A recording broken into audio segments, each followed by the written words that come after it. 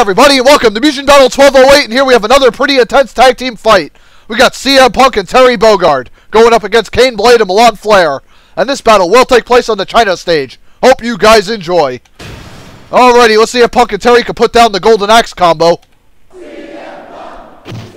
That'll be another big win for them if they can do it. Round one. Alright, let round one commence. Punk starts off with a big super fist to a big kick to a drop kick combo. Milan Flare gets a high kick off on Terry. Terry does like a nice explosive ground pound. Milan Flare gets a cyclone power driver to Terry as uh, Kain Blade continues to spam fireballs.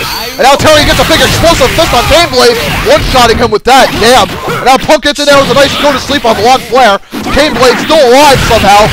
Now see that. Whoa, man, and then a low jump from Punk taking out Milan Flare. Wow.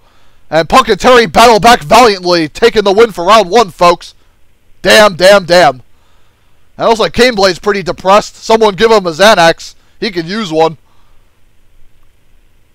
Stand up. Stunda! I don't know what he says there, but whatever. That's what I think he says. Anyway, Punk starts up with a big knee. He gets right, knocked right out of his combo from Kain Blade's fiery short uppercut. Punk already down to half health as he drop kicks Milan Flare. And then Milan Flare ends up clipping Terry right out there. Double kick to a knee on uh, CM Punk grounding him.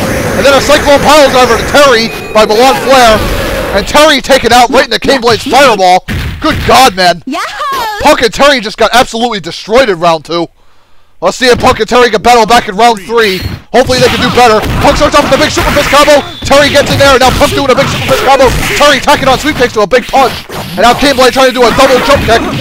And now Punk and Terry trying to volley pour Milan Flare. And then Kain Blade does a big sword slice combo. And then a big fiery sword uppercut. And then Terry gets volleyed around. And now Punk buried in the corner. Terry with a big explosive fist to Kain Blade taking him out. And now it's down to Terry and Milan Flare. Double aerial fist to Milan Flare grounding her. Wow. And Terry won round three all by himself. My goodness, folks. Ter- Terry won it for him and Punk easily.